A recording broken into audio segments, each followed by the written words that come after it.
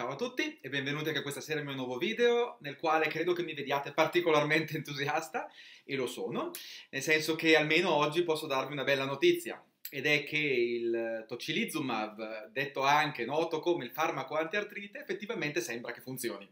E, ehm, no, lo dico, sono così entusiasta perché comunque sia in un certo modo eh, questo successo, questo risultato lo vedo anche come un piccolo successo personale.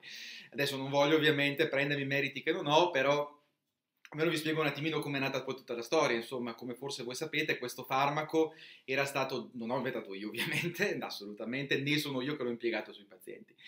Però questo farmaco insomma, veniva utilizzato anche in Cina, dove avevano fatto un protocollo per la cura dei pazienti con questo tocilizumab.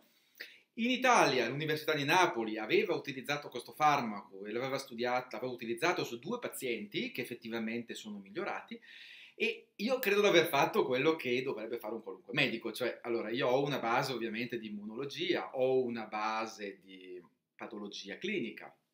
E allora cosa ho fatto però? Chiaro che non sono a livello di un virologo, non sono a livello di un immunologo. Quindi, dopo aver letto la notizia di questi due pazienti che sono migliorati a Napoli, cosa ho fatto? Mi sono dato a riguardare un pochettino bene effettivamente il meccanismo d'azione del farmaco e effettivamente come funziona la reazione del sistema immunitario in certe situazioni.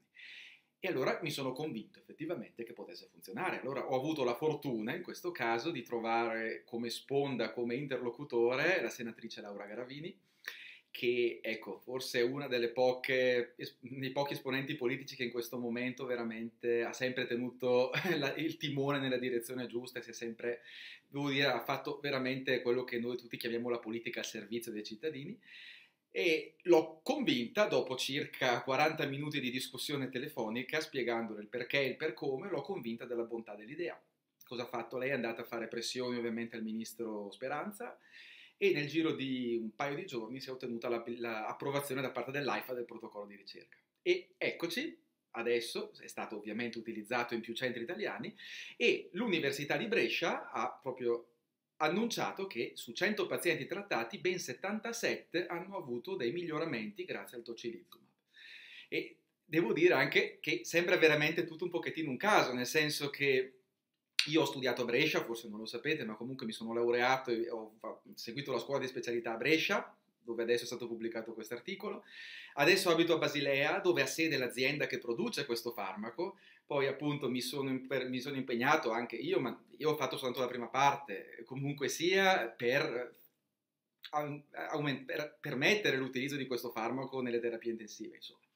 Per cui, insomma, ecco, è, una, è, un momento in cui sono abbastanza contento. Ecco, vi spiego velocemente di nuovo come funziona. Allora, eh, questo è un farmaco che blocca una delle componenti delle reazioni iperimmuni, Sono, è una di queste sostanze, si chiama interleuchina 6, comunque viene prodotta dal sistema immunitario in grande quantità per sostenere l'infiammazione in corso di gravi infezioni. Però, ecco, come vi avevo spiegato, questa iperattivazione del sistema immunitario crea parecchi danni anche al tessuto sano e quindi era anche responsabile da una parte delle alterazioni polmonari e dall'altra anche verosimilmente delle alterazioni trombotiche, quindi coaguli di sangue che si formano molto più facilmente quando queste infezioni grosse creano queste reazioni abnormi nel sistema immunitario. E cosa fa il tocilizumab? In pratica come si può definire, modula l'attività del sistema immunitario riducendone l'attività quella dannosa. Quindi lo mantiene comunque efficiente, ma evita che l'iperattività del sistema immunitario vada a creare problemi al tessuto sano. E come dicevo, appunto, 77 pazienti su 100 hanno avuto un miglioramento loro, della loro condizione dopo la, dopo la somministrazione di tocilizumab. Quindi è vero che dobbiamo sempre tenere in conto che se il 77% ha risposto vuol dire che il 23% non ha risposto, quindi chiaro che non siamo di fronte al farmaco che salva tutti, però è comunque un ottimo segnale il fatto che effettivamente in molti pazienti abbia funzionato. Ecco.